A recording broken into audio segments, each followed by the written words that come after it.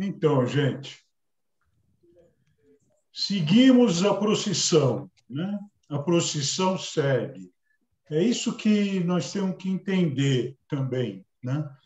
Porque não existe um, uma mudança drástica, é, imediata, nunca, em nada. Então, vamos aprender aquilo que a situação atual está querendo sugerir que a gente aprenda. Né? Primeiro, aprender a saber lidar com as circunstâncias, né? lidar com as circunstâncias e não perder a confiança, perder uh, uh, a coragem, sabe, perder os planos, perder as visões, é, perder a evolução, né? perder o amor, perder o carinho, perder as relações, por conta de uma situação mais difícil. Eu repito sempre que não tenho dúvida que, para mim, é um grande privilégio é, viver nesse momento porque acho que é um momento inédito e dificilmente a gente vai. É impossível da gente viver outro momento como esse nessa vida. Então, nós vamos, né, a beleza está concordando, né? nós vamos é, é, prosseguir até o final. Tudo tem começo, meio e fim. Tudo tem começo, meio e fim. Inclusive, a morte é o fim das coisas. Esse também é um aprendizado que a gente está tendo, né? e que nós vamos adquirir esse aprendizado, que a morte não é a coisa mais dramática da vida. A morte é simplesmente o fim desta vida e o início de uma outra dimensionalidade.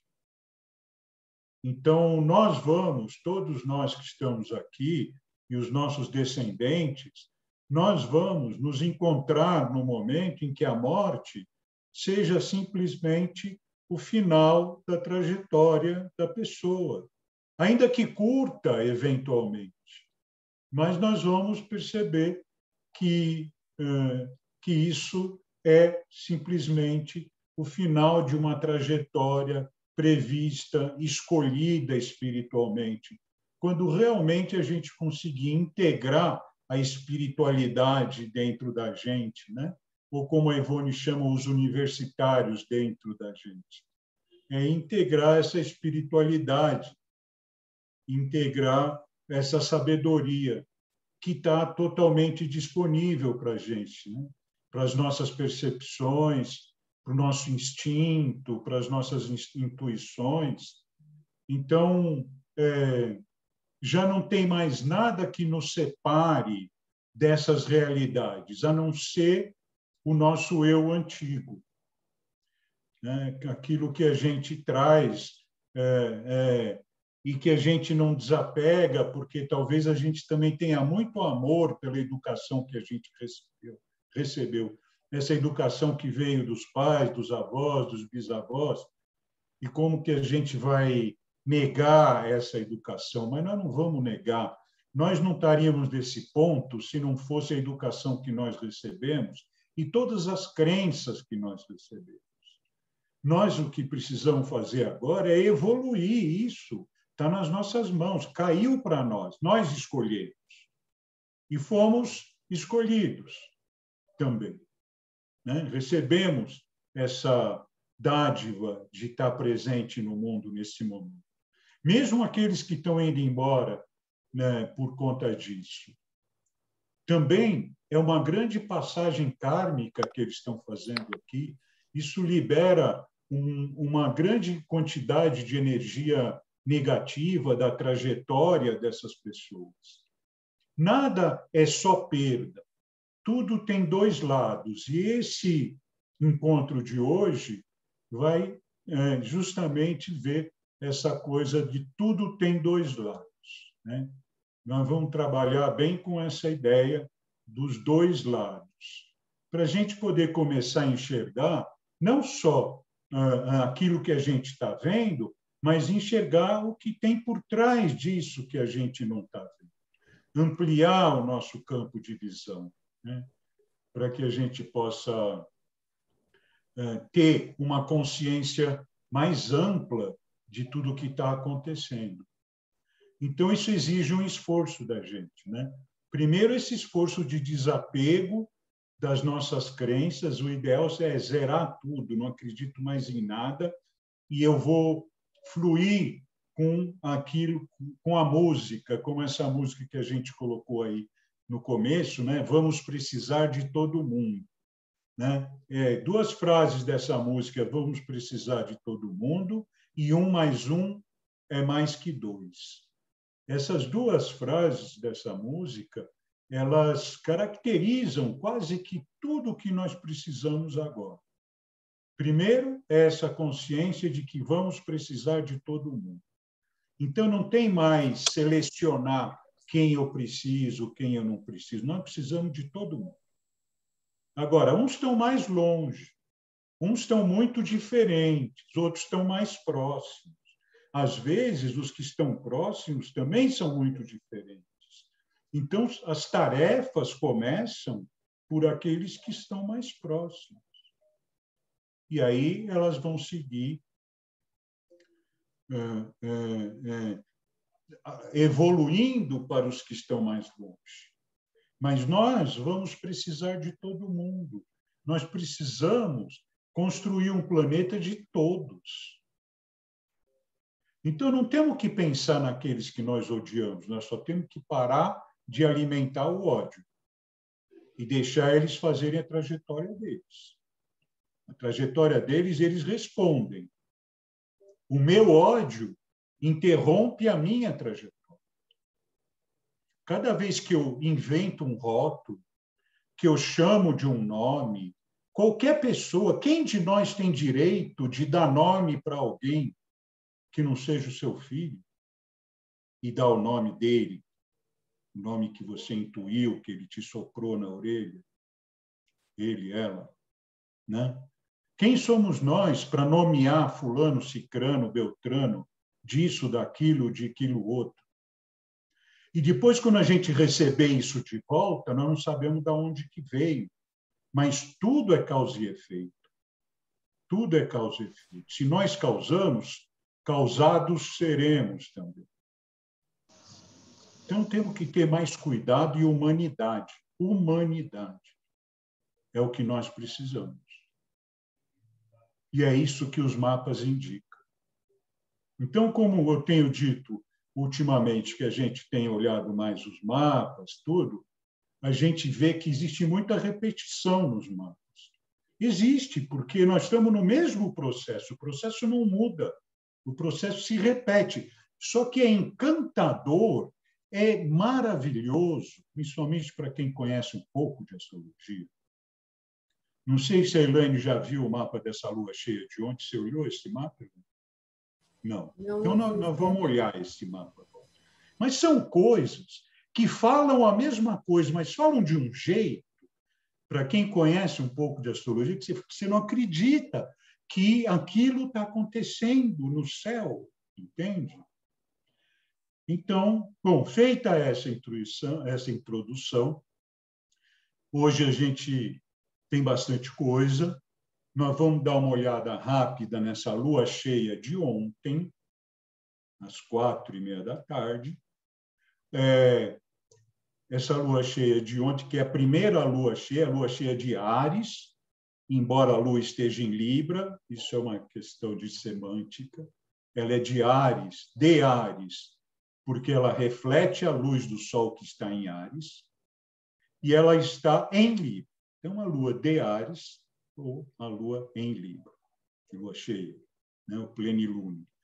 É, e ela, como primeira lua cheia do ano, né? e ela representa também aqui, a gente tem duas coletividades grandes, né? Então, tem aqueles que comemoram o Pêssego e tem aqueles que comemoram a Páscoa. Aí eu vi uma postagem que aí eu entendi melhor é, por que, que são datas diferentes, porque são duas travessias, são dois renascimentos.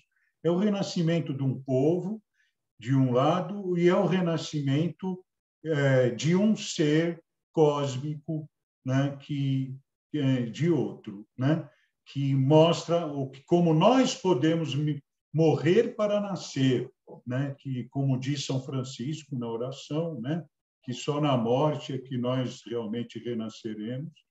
E isso tem muita simbologia, muitos códigos nisso, né? É...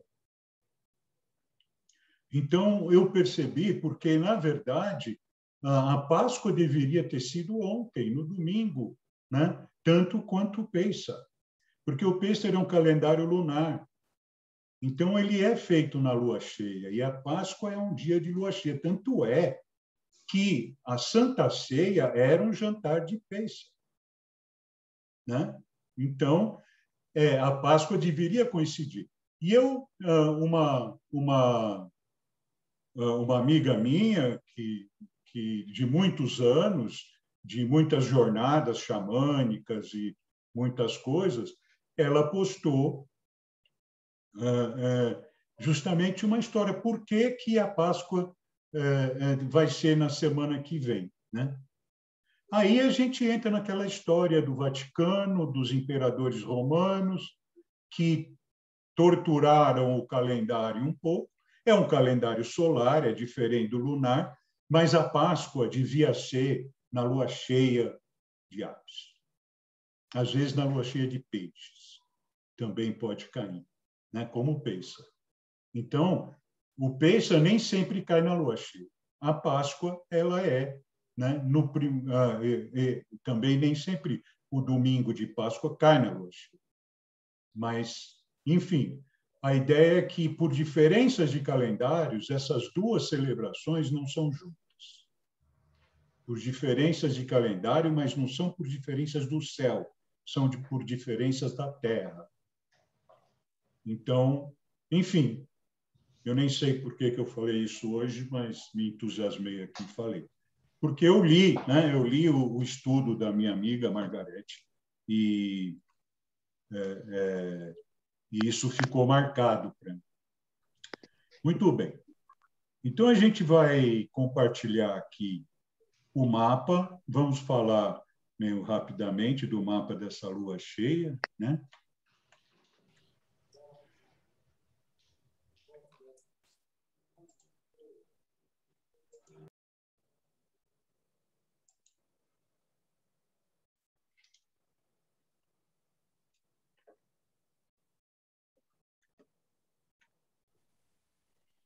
Então, esse aqui é o mapinha da lua cheia para Brasília, 28 de março, às 15h48. Muito bem. Então, aqui, é, falando também que hoje nós vamos falar é, dos nodos lunares. E falar dos nodos lunares significa falar de signos opostos, em princípio. Né? Tem casas opostas também, tem, mas falar de signos opostos, que é uma coisa que é importante para todos nós, como eu estava falando antes, saber que tudo tem dois lados. Então, um, um, um, cada signo tem o seu oposto. Então, quem se interessa em conhecer melhor de si mesmo através da astrologia, é importante conhecer esse signo oposto ao seu e, aos poucos, tentar entender essa oposição, como ela funciona. Porque é com isso que nós conseguimos nos aproximar né, e fechar essas polarizações, nos aproximando de um centro, de um ponto de equilíbrio entre as polaridades, aproveitando o que tem de bom um do outro. Quando nós nos cegamos para que o outro, pelo que o outro tem de bom, embora ele tenha muita coisa de ruim, eu perco isso e ele olha para mim da mesma forma. Então, essa lua cheia ela veio a calhar com essa história né, de, de falar sobre os nodos lunares. É, é, mas nós vamos falar primeiro da lua cheia, depois entramos no norte. Então, a lua cheia é uma oposição. É isso que, que nós estamos dizendo, signos opostos. Então, a lua cheia se arma sempre dessa forma, né? na, vamos dizer assim, na, no diâmetro, num, num dos diâmetros da circunferência, que tem um determinado grau. Elaine, presta bem atenção nisso daqui, tá? É, num determinado grau. É, e está aqui, ó, Sol de um lado, Lua de outro. Quem está aqui no meio é a Terra, porque o nosso, a nossa astrologia é geocêntrica. Então, a gente faz astrologia com o céu que a gente vê da Terra e não com as órbitas reais em torno do Sol. Né? Vemos as órbitas que, que os planetas fazem em torno da Terra.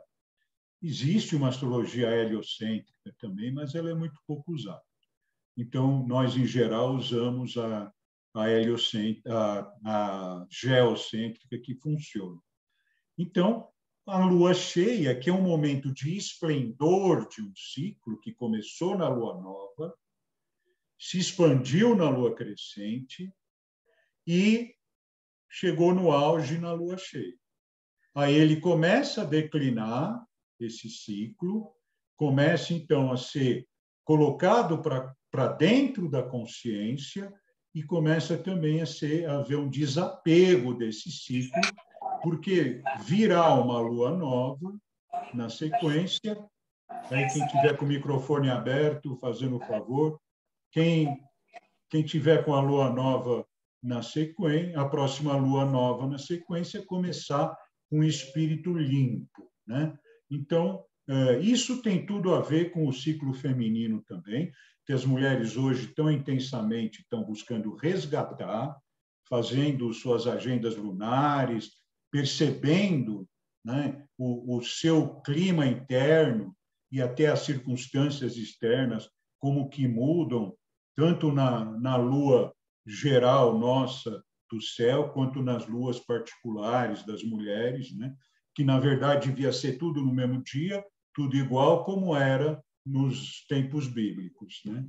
Na Tenda Vermelha, quem viu esse filme ou quem leu esse livro, né, sabe do que eu estou falando, da Tenda Vermelha, onde as mulheres se reuniam no dia da lua delas e era sempre o mesmo dia. Uh, muito bem. Então, nós estamos na Lua, que é justamente a oposição. Essa oposição ela é o momento de maior força da Lua. Né? É o momento onde ela, ela brilha mais, todo mundo sabe, todo mundo viu essa Lua de ontem, todo mundo fotografou, ou postou, ou viu, de algum jeito, porque ela estava maravilhosa, o céu está se mostrando maravilhoso cada vez mais. Como quem diz, galera, fica aí, trabalha, porque está tudo entrando nos eixos. Está tudo entrando nos eixos. Não lamente as coisas com a nossa vã filosofia, porque tem muito mais além dessa vã filosofia. E quanto mais a gente se envolve com essas coisas, a gente mais consegue abrir os olhos para tudo, né? Então existe uma, uma, uma oposição forte entre Áries e Libra na primeira lua do ano, né? E entre dois signos opostos, que como sempre acontece, né? São 13 luas por ano, de 28 dias vezes 13 dá 364. Né? Aí, esse dia 365 aí é uma coisa que depende também para é, dos anos bissextos e não sei. Mas, em princípio, são 13 luas por ano. Ah, ah, o calendário judaico eu não entendo, porque ele um dia tem dois meses, um ano tem dois meses, outro ano tem três, tem coisa eu também não entendo nada do calendário judaico, não consigo entender. Alguém talvez algum dia me explique esse calendário, mas é lunar. Enfim, É, aqui, nós, então, essa Lua está trabalhando esse eixo Ares-Libra, que é do que nós vamos falar hoje, desses eixos. Né? É, na hora que eu acabar a introdução, né, desses eixos Ares-Libra. Mas Ares-Libra é o primeiro eixo, que, que eu batizei esses eixos com um nome, porque, na verdade, não existe um nome para eles. Mas eu achei uma palavra que desse assim mais a inspiração do que é essa.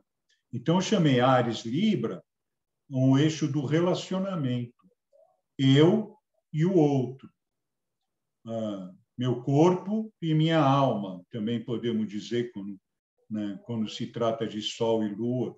É, mas Ares é uma coisa muito voltada para a minha força, para a minha vontade, para a minha energia, e Libra é aquele que vem para equilibrar as coisas.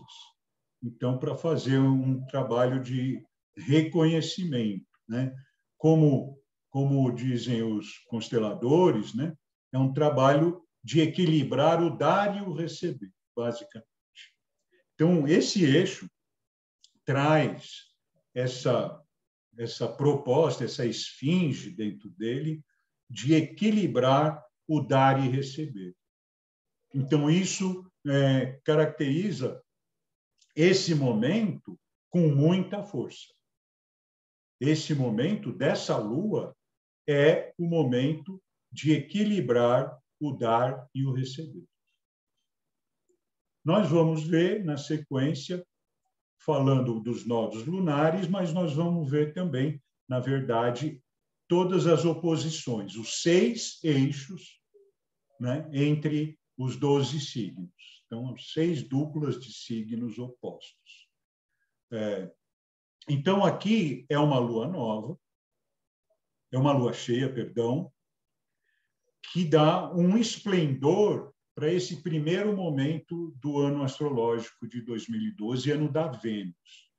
Então, é, aqui, por isso que eu pedi para a Elaine ver aqui, outras pessoas que conhecem astrologia, então, é muito raro, muito, muito, muito, muito, muito raro, muito, muito raro, no dia exato, na hora exata da lua nova, a gente ter. A lua nova sempre tem Sol e Lua no mesmo grau, 8 graus, 8 graus.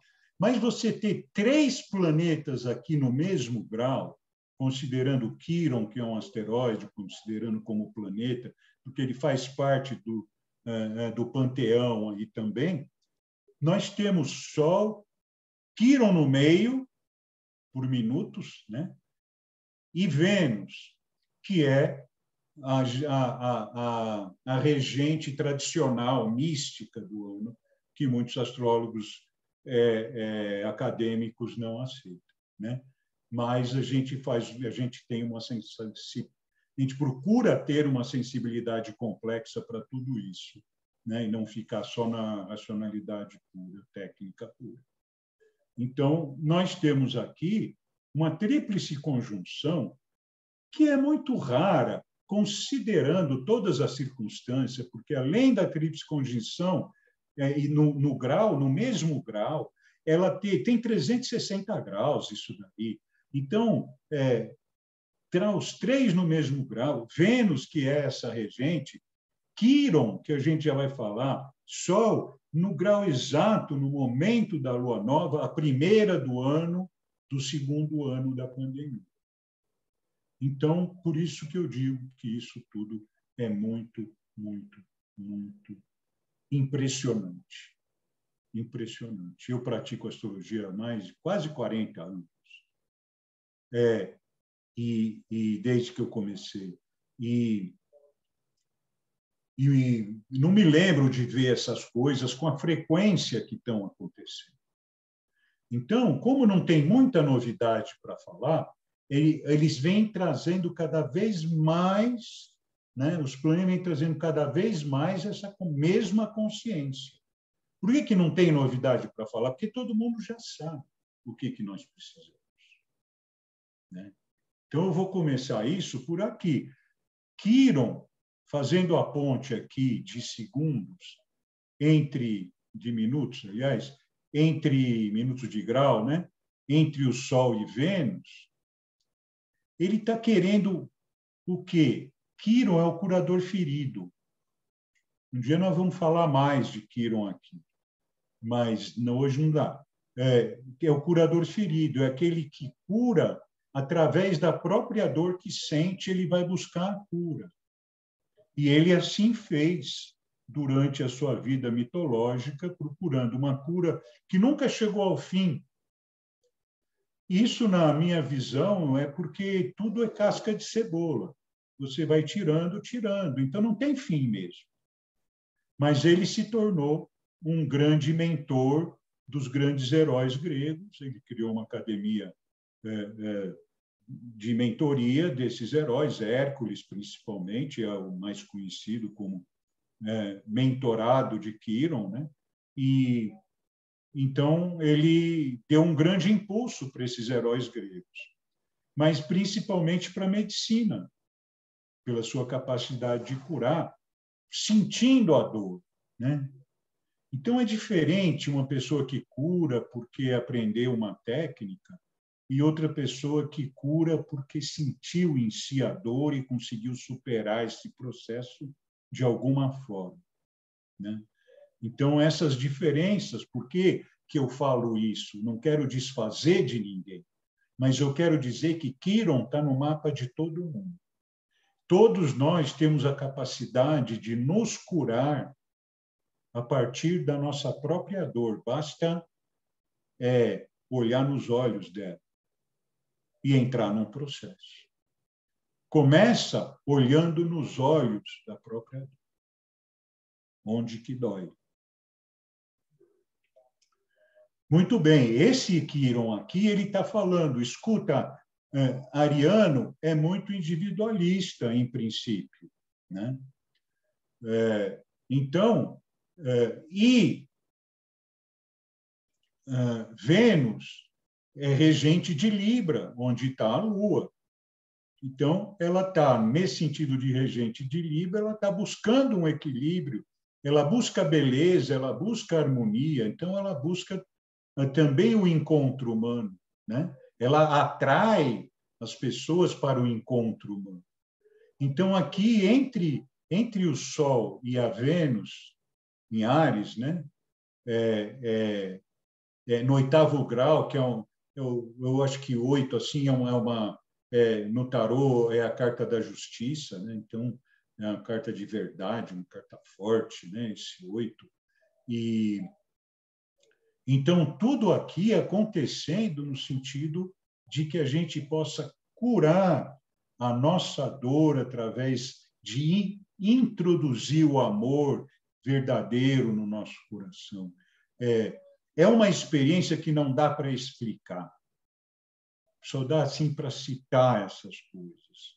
Porque não é dizer assim, ah, mas eu tenho meu amor, eu tenho, todo mundo tem meu amor, eu amo, amo meus filhos, amo minha mãe, mas é, é, é, eu é diferente o que eu estou querendo, né?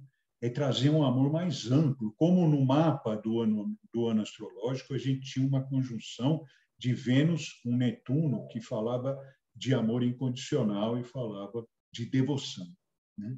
Então, um amor mais devocional, um amor mais espiritual. Né? Então, esse é o caminho da humanidade para que isso não se rompa do jeito que se rompeu entre os seres humanos, para que a gente não chegue de novo nesse ponto. Nós já tivemos um dilúvio por causa disso, né? se formos seguir a palavra da Bíblia, mas a palavra da Bíblia está aí viva há, há, há cinco mil anos. Como é que eu vou dizer que, que ela não tem valor? Né? Eu só posso falar que ela não tem valor se eu quiser me aproveitar dessa fala. Né? Então, aí já não tem tanta impecabilidade. Mas cada um responde por si. E, e, e não se critica ninguém. Nós somos o que somos e comunicamos a nossa visão com carinho.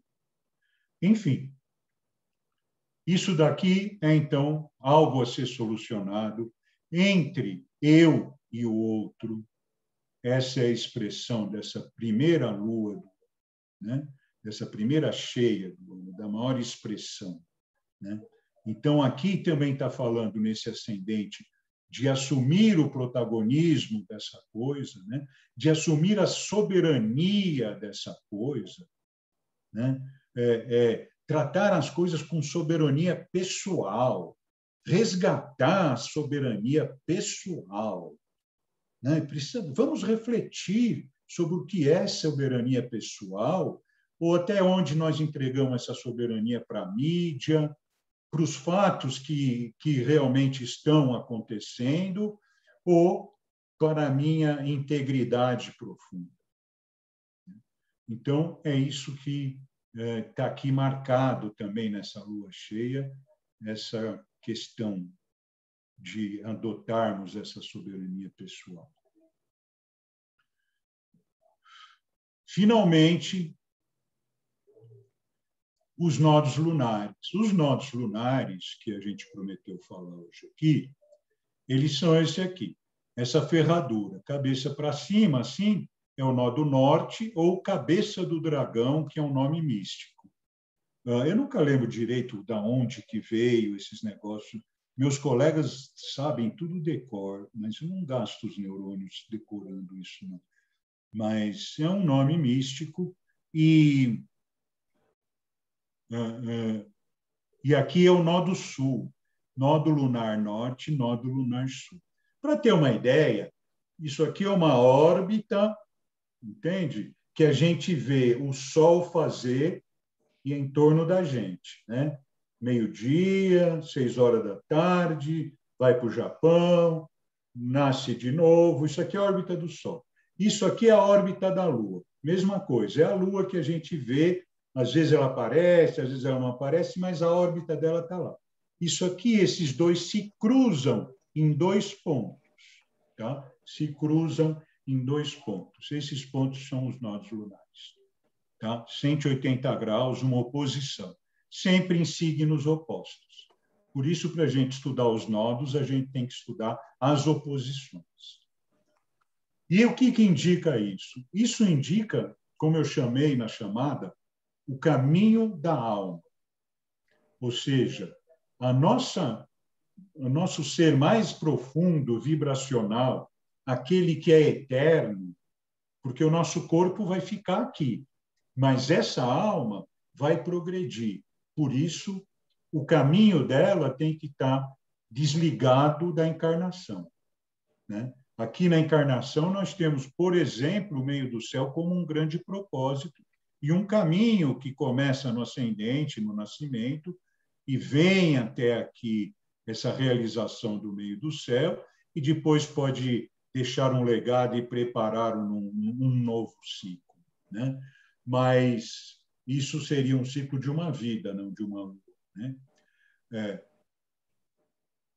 Mas é, os nodos lunares do nosso mapa, e aí, infelizmente, eu não vou poder dizer qual é o nodo lunar de cada um aqui, mas é, precisa saber o mapa astral. Quem tem o mapa astral pode tentar descobrir. É, depois eu vou dar umas dicas aí.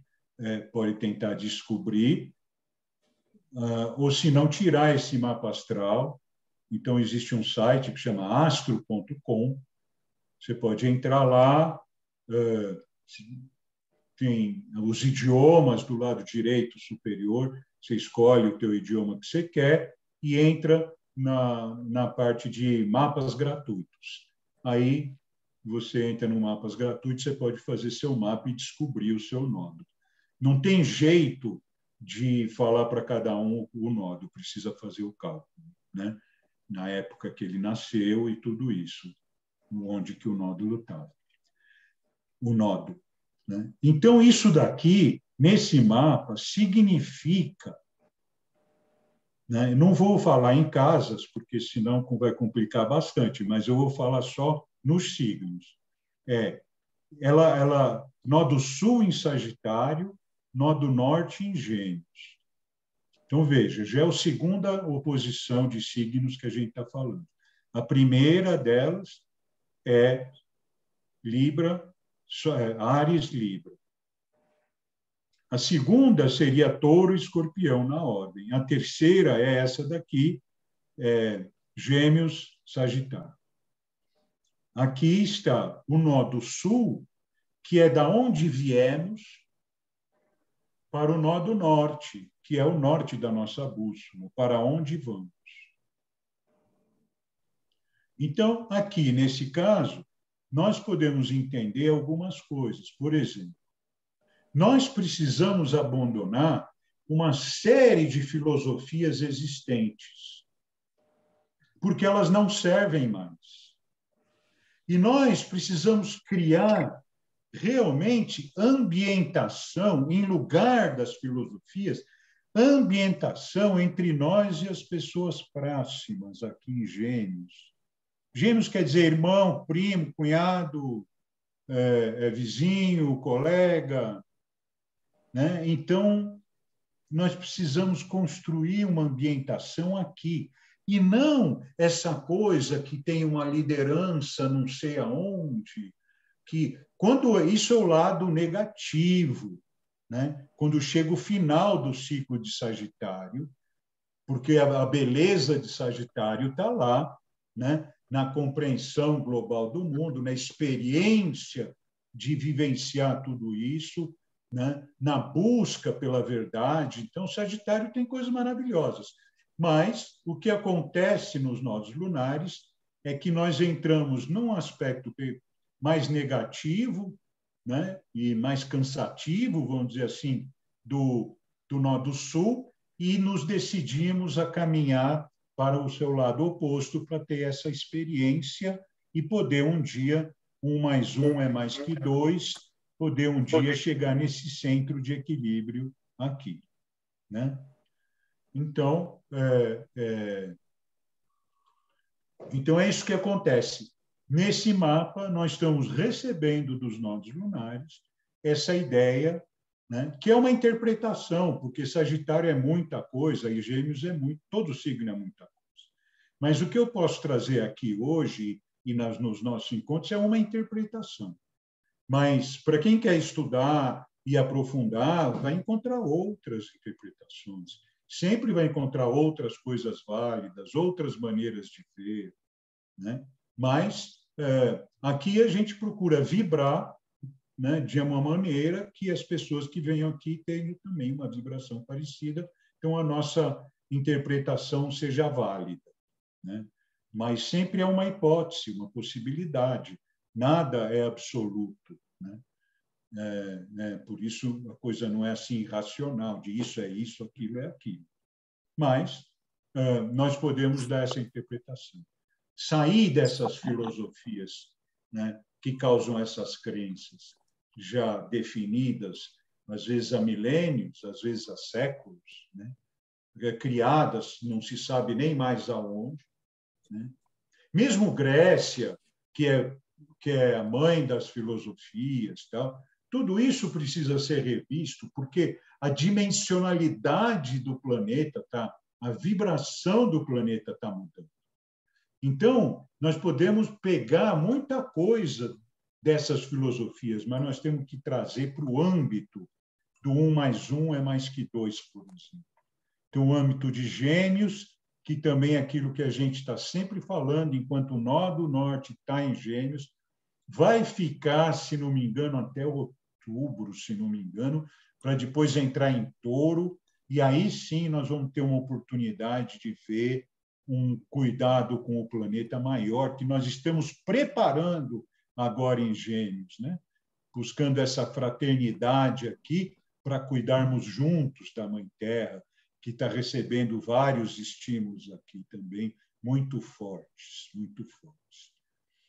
Então, do nosso mapinha, o que realmente fica, que eu queria deixar, é bem claro, né? A cura, o equilíbrio entre o dar e o receber, a cura dos males da, do relacionamento, aquela coisa da gente ficar é, levando muitas coisas para o pessoal, tirando muitas conclusões, né? tem um livro que fala disso, é, e, e, e não consegue mais olhar para o outro, não consegue mais colocar o olho no olho, não consegue mais dizer estamos aqui juntos. Então, a palavra que eu deixo nesse mapa aqui é eu, com a minha total soberania, e você, tem até aqui Júpiter e, e,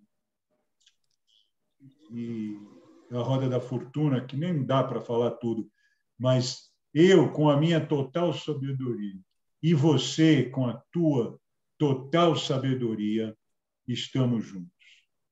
Estamos juntos. Isso aí eu deixo como uma frase para essa nossa para esse nosso mapa. Porém, nós tínhamos mais, o tempo aqui vai estar meio curto, mas vai ser uma introdução para é, é, o que. Deixa eu abrir aqui um outro. Para a gente falar mais vezes sobre isso. Né? Então, aqui, olha, nós estamos aqui. Eu vou fazer uma coisa aqui para quem quiser se preparar para tirar um print. Antes desse aqui, isso aqui também pode ser, mas eu, eu queria preparar para um print, para quem quiser, para isso daqui. É, é, então, é, aqui estão, dentro do branco ali, interno, os planetas, com o símbolo e o nome. Dentro do azul estão os signos, e fora do azul estão o nome do signo, o elemento do signo e o movimento do signo. Talvez vocês não entendam direito tudo isso, mas eu estou propondo de vocês tirarem isso para vocês acostumarem também com esses símbolos. E se alguém for procurar fazer um mapa lá no astro.com e achar o seu nódulo lunar, que é aquela cabecinha do dragão lá, aquele bonezinho, aquele, aquele chapeuzinho, pode ser um kipá, por exemplo, brincando, né? E depois do outro lado é um é um, um, um buraco, né? Às vezes você está no buraco porque você já já gastou demais aquela energia, precisa ir para outra, né?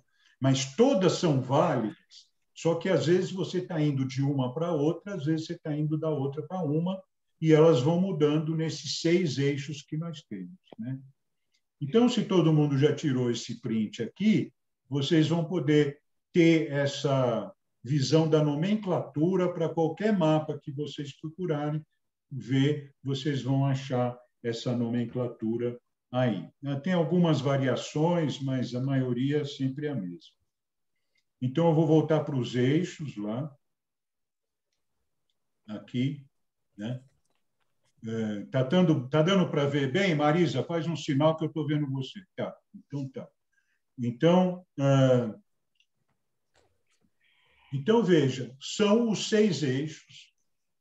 E aqui, de acordo com aquele print, isso aqui também, se quiserem tirar um outro print, né? É, gravar aquele em algum lugar e, e tirar esse daqui. É, nós temos aqui aqueles signos que nós vimos lá. E eu vou repetir aqui. Ah, eu vou tirar aqui para vocês poderem. Não, aqui tem que fazer. Ares, Touro, Gêmeos, Câncer, Leão, Virgem, Libra, Escorpião, Sagitário, Capricórnio, Aquário e Peixes. Eles estão aqui marcados como eixos. Ares e Libra, como a gente viu lá, é, Touro e Escorpião seria o segundo eixo, Gêmeos, Sagitário, como a gente viu no nódulo lunar, terceiro, Câncer, Capricórnio, quarto, é, é, Leão, Aquário, quinto, Virgem e, e Peixes, o sexto. Tá certo? Aqui são as casas relativas, mas nós não vamos entrar nisso daqui. A gente, né? Quem quiser fazer o curso de astrologia lá na Três Fontes, né, Marisa? aí entra um pouquinho mais nessas coisas aqui, né? E a gente também repete bastante e tal. Mas então eu procurei dar uma palavra que desse é, é, um astral desse, desse eixo. Uma palavra. É, isso é discutível, alguém pode dizer, não, essa palavra não é a melhor, a melhor seria não sei o quê. E é verdade, sabe? Eu, já, eu mesmo já mudei várias vezes essas palavras. Né? Às vezes porque alguém mesmo, algum aluno, principalmente, porque eu mostro isso aqui mais para aluno, né? Aluna principalmente, aluno é raríssimo, mas tem também. É, é, e, e, e, alguém fala, ah, não acho que essa palavra é melhor, tem essa aqui que eu acho melhor. Aí, às vezes, eu acho mesmo e mudo. Beleza, mas hoje as palavras são essas. Aqui, tá? Então, como nós vimos aqui, relacionamento. Sérgio, é Ana Elisa. Fala, Elisa. Eu não consegui fazer print screen, depois você mandaria no grupo esse, esse slide outro? Eu, eu posso mandar. É, é que aqui a gente não tem um grupo é, do, ah, é? no trabalho 60 a mais. Mas eu vou mandar, eu vou é. mandar isso aqui. Uh, se vocês recebem um e-mail uh, ah. pessoal uh, na lista de transmissão, eu vou mandar o, esses dois na lista de transmissão. Se alguém não recebe, eu vou, eu vou colocar também no grupo da cultura orgânica isso daqui tá? para quem está no trabalho 60 Desculpe, mas o meu teclado não, não consigo achar as teclas para o print screen, Windows. Né? Se é no teclado, é lá em cima à direita. Ah, no meu é assim, lá em cima à direita tem as luzinhas que tem ali, aí você conta um, dois, três, é o print screen. Mas uh, isso no meu teclado. Agora, eu vou mandar, se você, se você não receber, você fala comigo que eu mando no teu pessoal, mas eu mesmo vou ver. Eu acho que o teu pessoal recebe, tá? tá então vamos lá, porque Desculpe. vamos indo. Então isso aí também. Se alguém, se, ah, inclusive aproveitando falar, se eu não tenho o WhatsApp, né, o número de alguém que está vindo aí a primeira vez, tá? Ou ainda não tenho, se quiser entrar na lista de transmissão, é só colocar no chat o seu é, WhatsApp, tá? Então, aí eu já incluo na lista. Cada 15 dias a gente tem esse encontro aqui sobre algum tema astrológico, geralmente temas do momento, é, é, mas também alguns como isso daqui que fazem parte da, do estudo da astrologia, que a gente procura falar isso aqui em português e não em, astrologuês para todo mundo entender. Pelo menos é a tentativa. aguinha.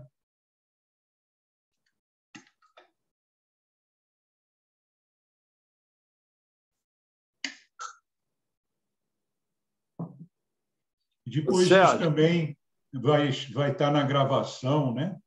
E vou pedir, então, para todos que fechem os microfones, porque depois nós vamos ter tempo para conversar, tá?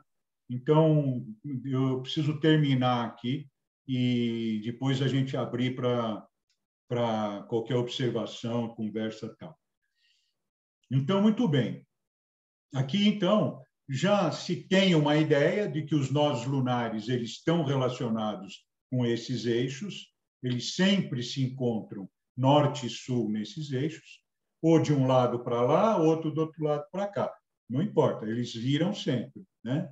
Eles viram sempre, estão em qualquer lugar do mapa, eles podem estar dependendo do seu ascendente, eles vão estar mais para cá, mais para lá. Então, ah, não, não, nada está errado. Eles podem ser em qualquer signo, em qualquer casa, em, em qualquer lugar.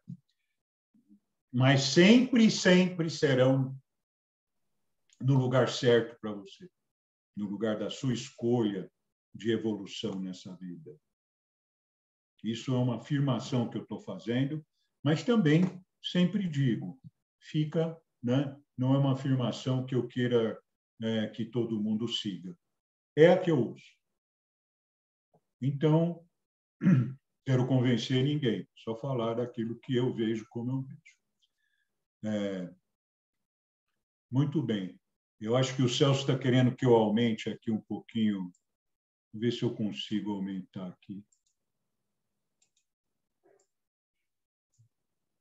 que aqui aparece, deixa eu pôr isso para baixo. Aí, agora, Celso, melhorou? Então tá bom. Se alguém quiser tirar outro print assim, muito bem. Então, então é isso. Voltando, e agora vamos rapidamente dar uma geral nisso. A gente vai voltar a falar e vocês também vão, vão procurar, se quiserem, é, conhecer melhor essas coisas. Então, o primeiro eixo que eu chamei eixo do relacionamento, Ares Libra, aquilo que eu falou, eu, o outro, nós precisamos nos entender. Ares tem muita energia no eu e Libra tem muita energia no outro. Então, é claro que nós, juntando, fazendo a média das energias, um mais um é mais que dois, nós nos encontramos nesse meio e quem tem mais energia para o outro oferece para quem tem mais energia para si e vice-versa, e nós nos encontramos. Então, essa é a proposta cósmica. Né?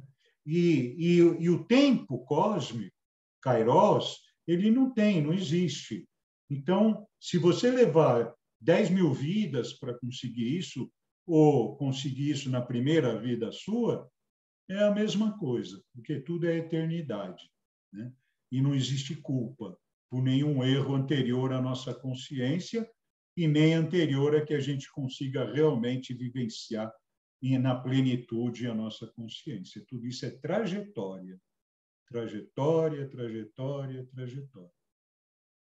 Então, é, é, esse relacionamento, né, usando o termo dos consteladores, que o meu irmãozinho e colega astrólogo e constelador, eu não sou constelador, é, é, Maurício Jacoel, usou na live dele falar que, que a questão desse eixo aqui é equilibrar o dar e receber que é um, uma das propostas do Bert Hellinger, né, que é outro dos grandes é, é, condutores da nova era, né, que eu considero, né, mas acho que não sou só eu. Muito bem, esse é o eixo do relacionamento. O primeiro eixo, eu preciso me acertar com outro. Se eu não me acertar com outro, com quem que eu vou me acertar? Meu Deus, só comigo. Eu só quero para mim, para mim, para mim. Aí o, o, o coronavírus eu quero para mim também? Aí eu quero para o outro. Né? Verstehen Sie, Ivone? Ou seja, entendemos isso de só quero para mim? Né? Então, tá aí, dar e receber equilibrados. Aqui eu chamo o eixo do poder, porque esses signos têm muita energia, muita força, muita capacidade de realização, muita capacidade de superação, muita capacidade de regeneração e tem também seus lados negativos, né? Que nós não vamos exaltar aqui. Então, aqui tem muito poder envolvido. E a mesma coisa, nós precisamos equilibrar esse poder, porque aqui a gente pode dizer que aqui são os meus valores em touro e os valores do outro em escorpião. Então, equilibrar. Aqui em cima, equilibrar o dar e receber. Aqui seria equilibrar os meus valores com os valores dos outros. E não querer impor os meus valores. Né? Eu ter a minha soberania para ter os meus valores. E respeitar os valores do outro. E vice-versa. Não é verdade? Então, assim, nós vamos construindo esse um mais um é mais que dois. Né? E, e vamos precisar de todo mundo. O terceiro, já falamos lá, gêmeos é aquilo que está perto, é o conhecimento, é o eixo do conhecimento. Né? Então, gêmeos é, é o conhecimento mais fundamental. Né? É o primeiro aprendizado, as introduções, e Sagitário é o conhecimento superior, né? pós-doutorado, pós-pós-doutorado, se você falar em acadêmico, mas o conhecimento não é só acadêmico. Né? Ele é muito mais que isso. Né? Quanto mais complexo, quanto mais amplo, quanto mais vier da experiência da vida, da faculdade da vida, é, melhor, mais, mais realista é. Porém, né, o que, que diferencia aqui? é que um trabalha na proximidade e outro trabalha aqui a gente fala, eu gosto de falar, Gêmeos está ao alcance da mão, Sagitário está ao alcance da flecha, ele vai bem mais longe. Nós precisamos dos dois. Nós não precisamos de um que só é filósofo, não sei o que lá tal, como a gente viu no nodo lunar atual da lua, não, da lua cheia. E o outro, às vezes, fica só na brincadeira, não leva a sério, fica na superficialidade, não aprofunda. Então, nós precisamos né, equilibrar os conhecimentos.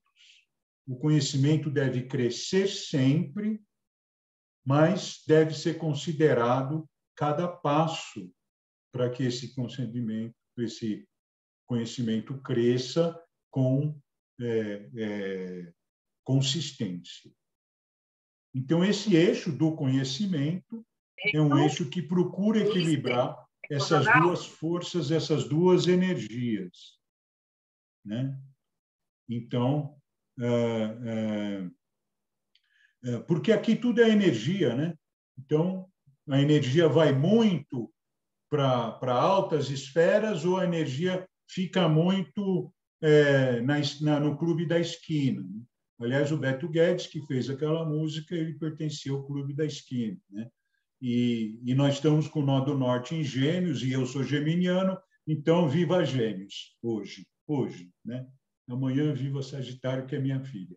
Então, é, é, mas é assim que se constrói um conhecimento consistente. Muito bem, aqui Câncer Capricórnio. Né? Para quem tem os nodos nesse eixo, estou falando para quem tem os nodos nesse eixo, mas tudo vale para todos, é evidente. Né? Quem, para quem é desse signo, para quem tem ascendente, lua nesse signo, vale para todos. Só que os nodos lunares, eles mostram Onde, de onde para onde você está indo, de qual signo você está indo para qual signo. Né? Não é só equilibrar os dois, mas perceber que você precisa ampliar mais aquele signo onde está o nó do norte. Mas sem desprezar o que você sabe do nó do sul. Tudo é equilíbrio, tudo é equilíbrio. O corona só entra na, na brecha da falta de equilíbrio.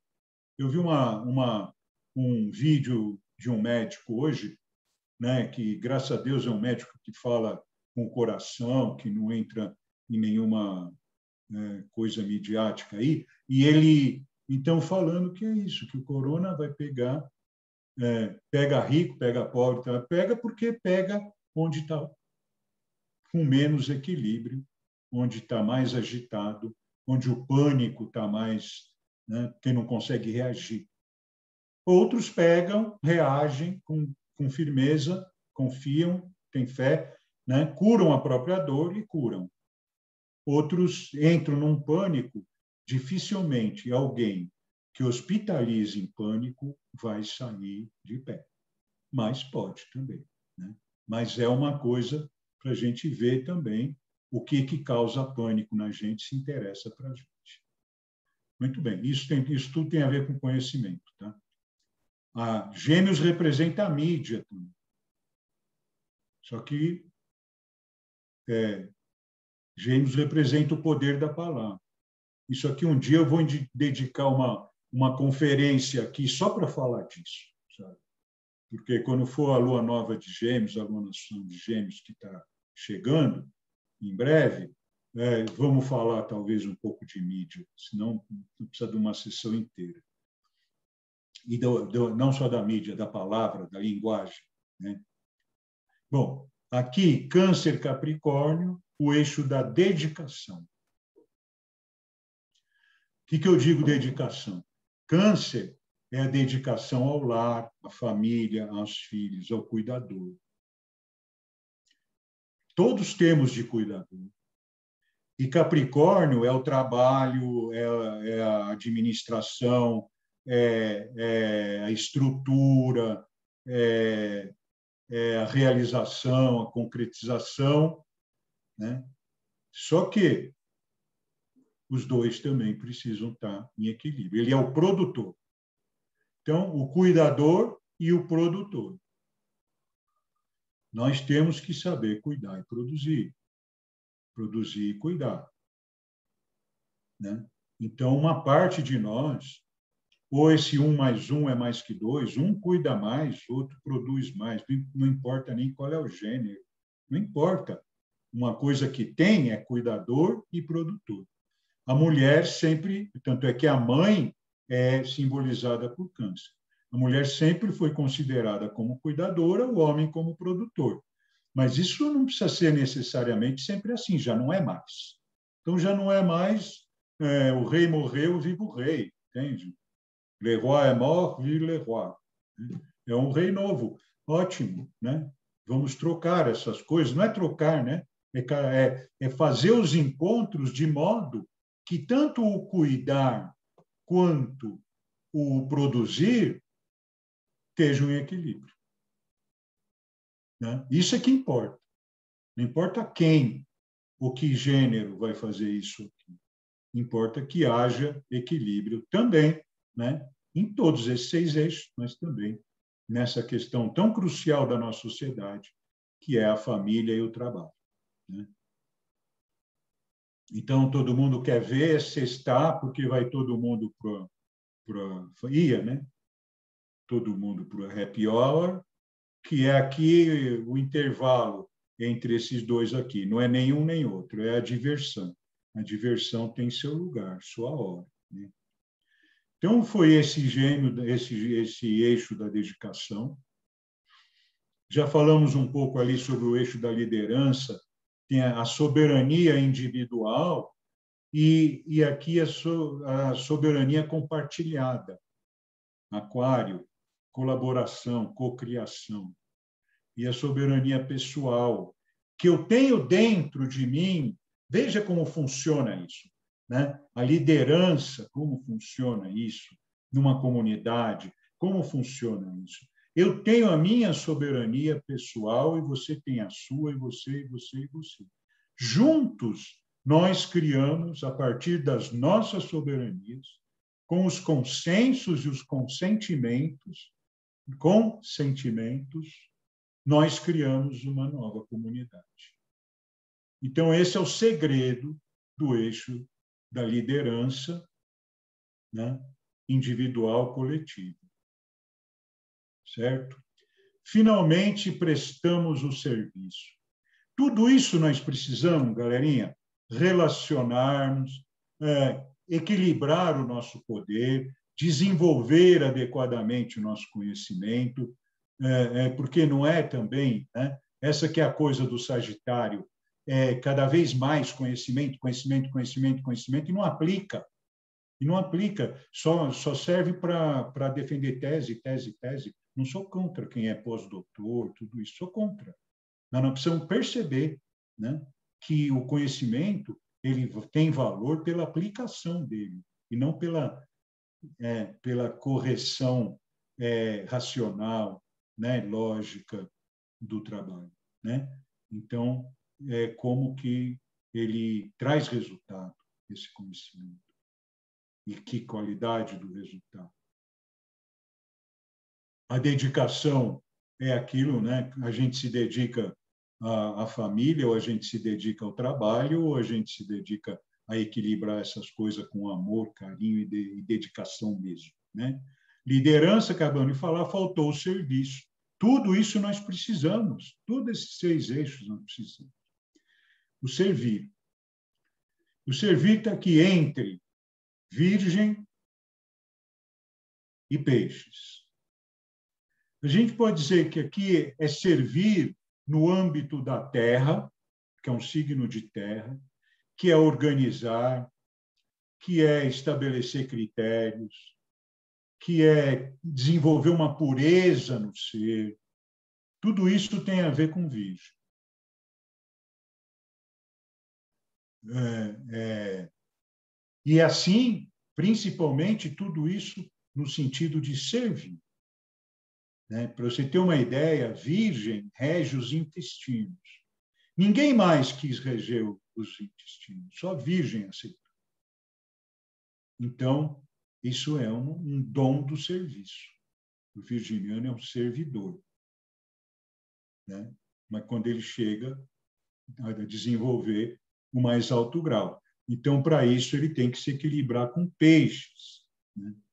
Peixes, ele está muito mais no campo espiritual, vibracional, às vezes até perde o contato com a Terra, fica na imaginação. Ele tem muito a ver com, com, com a imagem, né? imagem e imaginação. Né? Ele, tem, ele tem ação na imagem. Então, grandes cineastas, é, é, diretores de TV, de teatro, assim, então, é, pode ter um peixe forte, né? porque tudo que é imagem, né? É, também é, no sentido mais terreno também, os marqueteiros né? que, que fazem é, publicidade, né? É, os publicitários, eles também têm muito isso. E aqui nós precisamos, então, ter um pouco mais de união entre aquilo que é racional, que tem mais a ver com virgem, porque virgem em geral começa a aceitar só o que é, começa por aceitar só o que é racional. E peixes, como ele vive num mundo racional, ele acaba acaba até entrando pelo lado mais de virgem, porque ele fica meio incomodado de não ser tão racional. Às vezes isso é totalmente inconsciente. Mas ele agora está na hora, né? Netuno cada vez mais forte, né? E Netuno em peixes agora, né? Está mudando isso porque nós estamos nos, nos na, na, transcendendo. Então tudo, todas, tudo que é transpessoal agora vale mais, porque nós precisamos aprender essa vibração do transpessoal. Então, as, as terapias transpessoais são importantíssimas, né? E trazer esse transpessoal e o pisciano também reconhecer que a intuição dele é tão válida, né? Quanto a racionalidade dos critérios virginianos. Então, nós precisamos juntar tudo isso naquilo que a gente tem falado é, da, da, do pensamento complexo. Pensamento mais sentimento mais ação, na verdade. Né? Então, essa triplicidade complexa, entrando tudo, entrando intuição, entrando estudo, entrando uh, experiência, uh, entrando o movimento, entrando tudo nessa complexidade, entende? Que é como a gente lê melhor o mapa astral, porque são tantos símbolos dentro do mapa astral que você, se você não tiver esse dom, você ficar muito solfejando o mapa, talvez você ganhe uma boa nota como astrólogo, mas talvez você não acerte o coração do seu cliente. Né? Então, por isso o eixo do serviço, sabe? É, muitos enfermeiros, enfermeiras, né? É, são são piscianos, né? Tem essa coisa. É, Peixes vem de uma tradição também que rege as cadeias, os hospitais e as cadeias. Então, agora, né, o pessoal da saúde lá todo, mas o pessoal da saúde, na verdade, são os auxiliares de enfermagem, como eu vi uma reportagem aí, se bem que reportagem é, sempre se olha com o pé atrás, mas é, passando UTIs aí sem médico nenhum, né, nas UTIs, e só auxiliar, auxiliar que ganha, às vezes, pouco mais do que um salário mínimo. Já tive em UTI, graças a Deus, não agora, já tive em UTI. É, é, é, eu sei quanto ganha esses caras. Eles, eles passam a noite no hospital e depois vão para o outro passar o dia no hospital. Eles dormem nos intervalos, né? dormem no, no, na cadeira, é, para poder sobreviver com a família, tudo isso. Esses caras agora, que são do cuidar mesmo, né? porque aqui também tem um pouco do, do virgem no produzir e um pouco do peixes no cuidar, né? um pouco muito. Né? Em todos eles tem isso também. Né? O cuidar e o produzir é algo que precisa ser adequado. Mas são grandes servidores, esses daqui, né? quando eles se voltam para a realidade deles e para ser o melhor que eles têm né, para. Tá bom, gente? Bom, hoje passamos da hora porque a gente costumava terminar aqui, mas fomos. E vamos certo. abrir aqui. Né? É, quiromancia vem de quiron. É que eu acho que é outro radical. Não sei se você sabe que isso é assim. Porque quiron acho que quer dizer mão também. Né? Uhum. Em, em, grego, acho que, que é. Não tenho certeza. Pode ser que você esteja falando uma verdade, mas uh, eu vou procurar uh, ver isso também, Não. procurar a etimologia também, principalmente de quiromancia, né? porque quiron é um nome. Não, eu não estou é... afirmando, eu só estou perguntando. Não, não, é, tenho. então, eu não sei. Você me, me abriu os olhos para essa coincidência aí agora, né? que uhum. pode ser alguma coisa assim. Mas eu, o que eu sinto é que o quiro do quiromancia tem a ver com mão, né? Quiromancia, leitura da mão. Sim. Mas eu vou procurar saber melhor isso aí também. Vou, vou procurar isso. Você também dá umas viajadas no Google aí e a gente vai se falando. Ah, tá bom. Alguém mais? Alguma observação? Deu para acompanhar hoje ou foi muito? Muito, muito bem, bem, tranquilo, muito bom. Exposição muito boa. Que bem bom. inteligível, bem inteligível. Muito bom, muito bom. Cadê as os arianos e os librianos estão mais tocados, né, Sérgio? então, então, com a energia toda para eles. Né? É. Então, essa coincidência desses três, uh, desses três planetas estarem juntos no grau 8, na hora da lua cheia, para mim é uma coisa muito forte, realmente. Né? É uma coisa. Em astrologia, é uma coisa muito forte. Quem conhece astrologia, é uma coisa muito forte. Namastê, Mari. É. Mari, Com o Vênus é aquela coisa de você botar para fora os seus sentimentos, né? O Vênus ali. junto com, com em oposição à Lua, né? Então, não, eu não entendi agora o que você quis falar. Gêmeos em oposição à Lua? Não, Gêmeos não, Vênus, Vênus, Vênus, Vênus. Ah, Vênus. É, então, é. Vênus está em oposição à Lua nessa, nesse, nessa Lua cheia, né? É. Então, é, a Lua, é, Vênus tem mais relação com os sentimentos, a Lua tem mais relação com as emoções. Então, as emoções nem sempre vêm dos sentimentos é, de relacionamento. E, a Vênus sempre trata de, é, de relacionamento. Né? Então, é, é, é o sentimento do relacionamento. Vênus, que rege Libra, é, é o encontro com o outro. É atração, é magnetismo, é tudo isso, é ciúme, é o encontro com o outro, né? é cobrança, é controle, tudo isso que tem do bom, do melhor e do ruim e do pior. Né? Então, é... então é isso. É, mas aí as emoções ela, da Lua já são uma coisa que às vezes vem aquela coisa que não tem a ver com outra pessoa. Às vezes as emoções vêm muito de levar para o pessoal, certas questões, ou de tirar uma conclusão de algo que não faz muito sentido, mas a tua cabeça acha que é, então, ah, então é isso que eles estão querendo, então vou chegar e vou não sei. Então, perdeu, né? não, não, não existe você tirar essa conclusão. Né?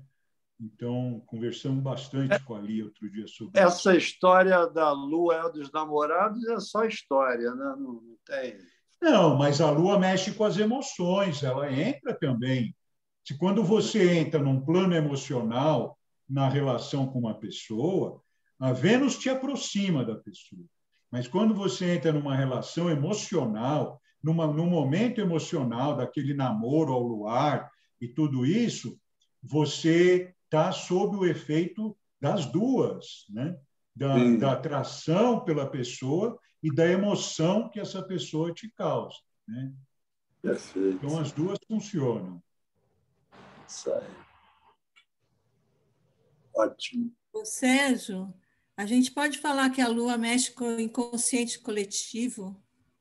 Que a Lua, não entendi. Mexe assim mais com o inconsciente coletivo, no todo. Assim, eu acho que a Lua mexe com o inconsciente coletivo, mas eu acho que ela se mexeria assim com uma coisa que a gente podia chamar de subconsciente, porque a Lua não mexe muito na profundidade.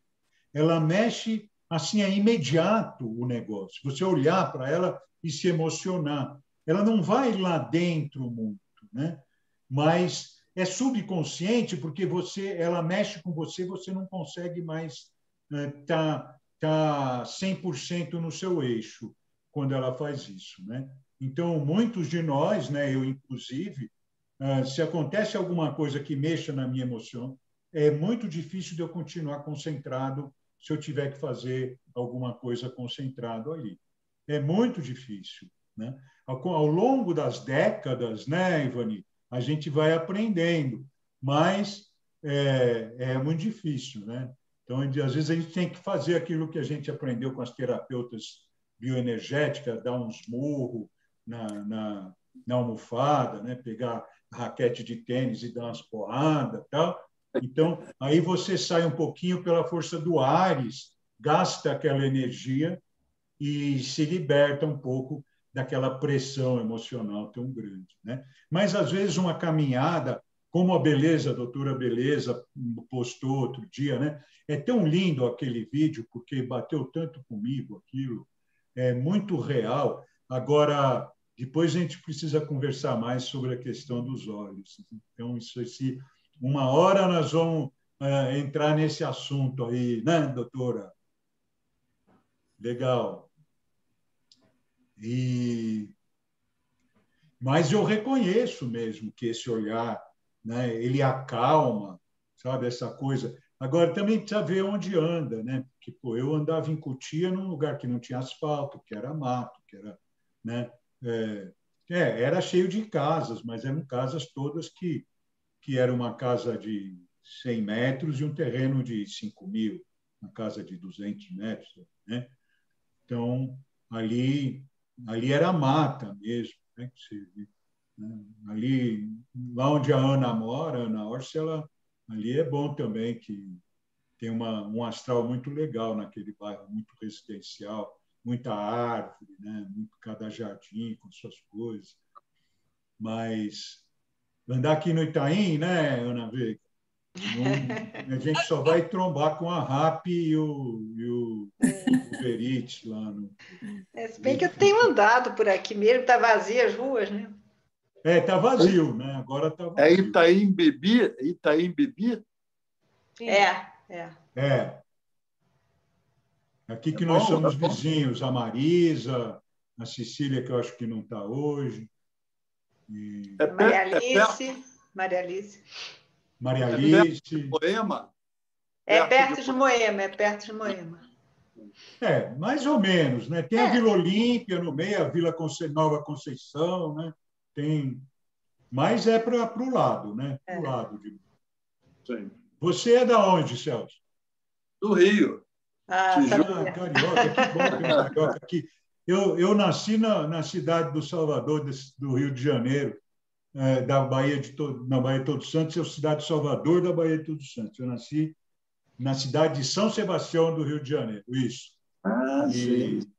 e só fiz nascer lá também. Ainda estou procurando entender esse fato, porque meus pais já vieram para São Paulo logo depois. Eles tiveram uma passagem rápida por lá. É, você tem um, você tem um pinguinho de, de carioca. carioca. Não, é. você é carioca. Você é carioca. Rio, né? é. Eu sou carioca. Meu mapa astral está lá escrito Rio de Janeiro. Rio de Janeiro. Né? Já foi já foi Guanabara, já foi sim, lá, sim. já foi Distrito Federal, mas é Rio. Isso. É, monte. É bem, é bem Rio mesmo. Já Alguém mais, gente?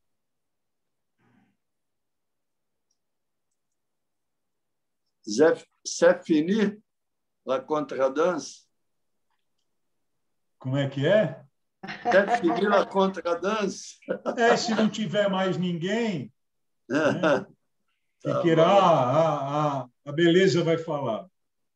Não, Sérgio, eu só quero expressar realmente uma gratidão profunda, porque assim, todas as reflexões que você faz, mesmo que a gente não entenda nada de signo e tal, mas o importante é a correlação e a reflexão que você faz, são tão profundas, e a gente consegue, no conhecimento complexo, inclusive relacionar com todos os níveis do cérebro uma série de coisas. Então, é tão fascinante que não tenho nem palavras para expressar minha gratidão, sabe? É uma coisa que Realmente eu só queria dizer isso, às vezes eu até mando uma mensagem, mas assim, eu queria publicamente dizer que assim é, é não tem tamanho o valor das coisas que você fala e que se a gente ouvir com o coração, sem tentar entrar no cognitivo, no pensamento, correlacionar com nossos conhecimentos, nossas crenças anteriores, é uma cura muito profunda. Porque a nossa mente, ela tá, ela não é o que a gente pensa, ela tem conteúdos, memórias, emoções, passadas, percepções, ancestralidade, um monte de coisa. E você aponta isso o tempo todo para a gente ficar na presença, olhar tudo isso. E eu sou extremamente grata. Para mim, as suas reuniões astrológicas, eu anoto, copio um monte de coisa, mas na verdade o que a causa é uma cura profunda, celular. Se a gente olhar com, com o coração bem aberto, porque é muita riqueza e eu quero agradecer profundamente, sabe? É, uma coisa que, nossa, é de uma generosidade, de uma profundidade sem palavras, sabe? Tá? Então, obrigada. Era isso que eu queria te dizer, tá? Eu aqui não posso, não consigo mais ter palavra agora, né? Mas vejo que é a emoção da lua cheia, né? Obrigado, obrigado, obrigado.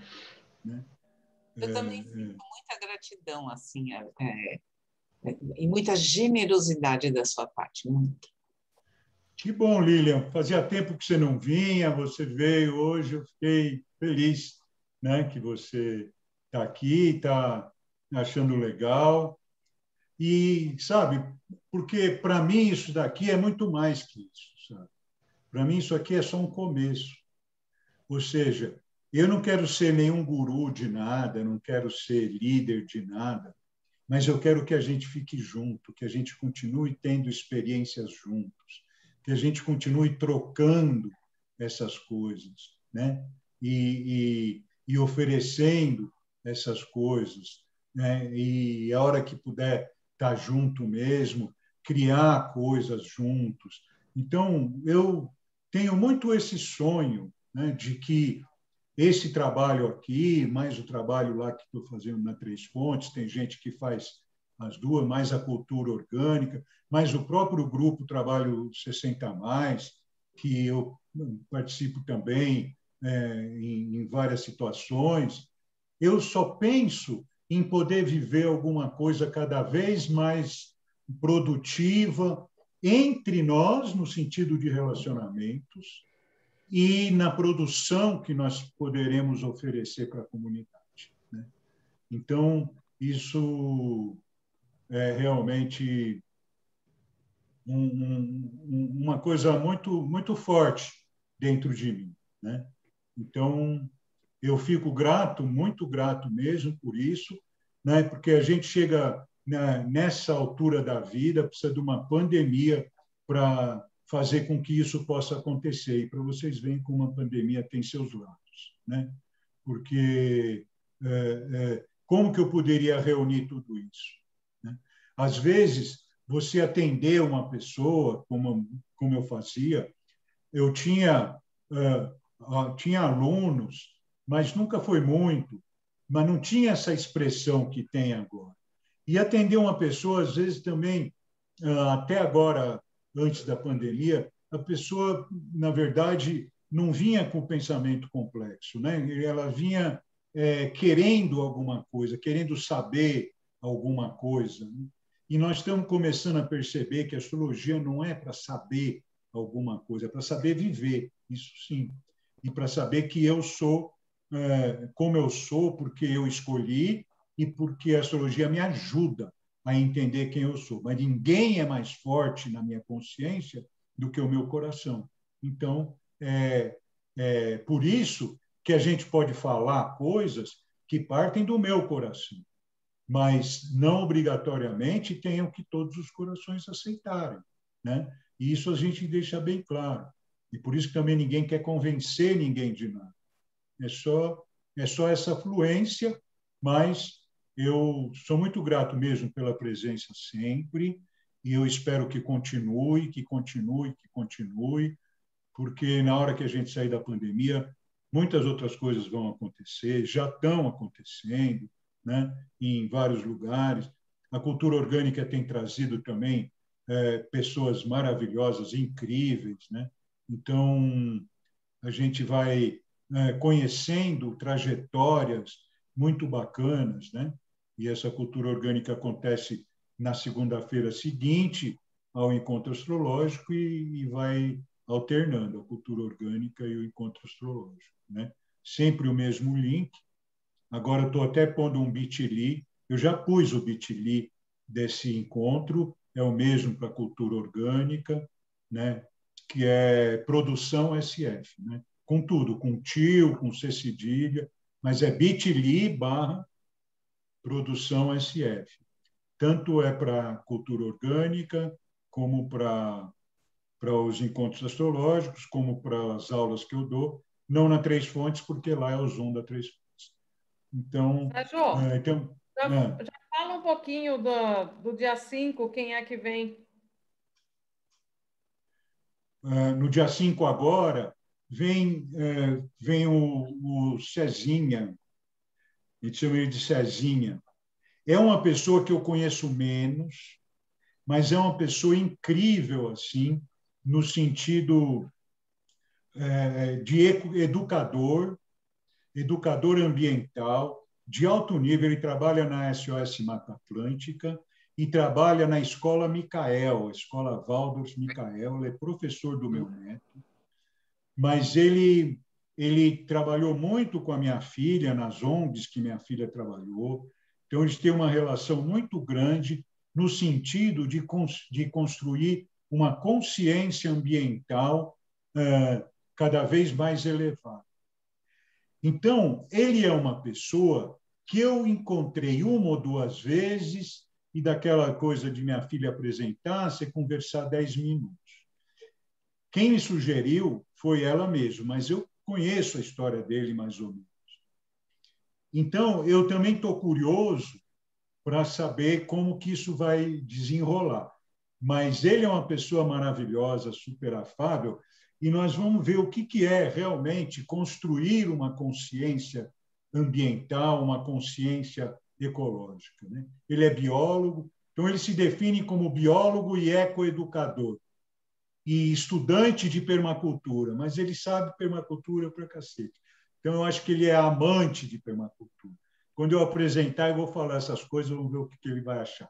Mas, é, é, então, ele está bem no estilo da cultura orgânica como ela começou, né? com essa coisa é, da, da, do, do, meio ambiente mesmo. Né?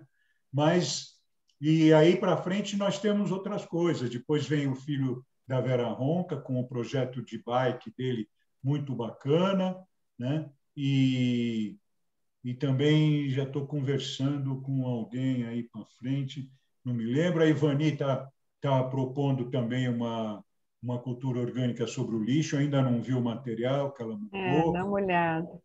Então, aqui todo mundo que manda é aceito, sabe? Então, é só que a gente tem vários já marcados, então a gente vai esperar um pouquinho para fazer mais contato. Mas, né? Ah, e tem a doutora Heloísa, né? Heloísa. Você falou com ela? Hã? Falei sim, ela disse que está à disposição. Ah, então já tem a doutora Heloísa também, que ela já esteve aqui como diretora do Mata Ciliar, ela é uma grande médica que fez aquele. Não, não, mata ciliar é a Cristina. Ah, então, então eu me enganei. Não, Heloísa... ela, falou, ela falou um pouco sobre o Degard. É. Lembra? Ah, eu lembro, foi daí que eu vi. A, a Heloísa falou sobre. Ciliar. Mas a Heloísa já teve aqui. Já esteve, sim. É, é que ela falou mais sobre a Santa Hildegard e agora é, mas ela é daqueles jardins temáticos, não é? Os jardins então, temáticos. Agora, na próxima, ela vai falar sobre óleos essenciais e, as, e a plantação das ervas. Ah, legal. Às vezes eu confundo um pouco, porque já foram muitas, não, e as pessoas que, como às vezes a Ana traz umas pessoas que eu não conhecia, fico conhecendo uh, aqui e sempre são maravilhosas, né?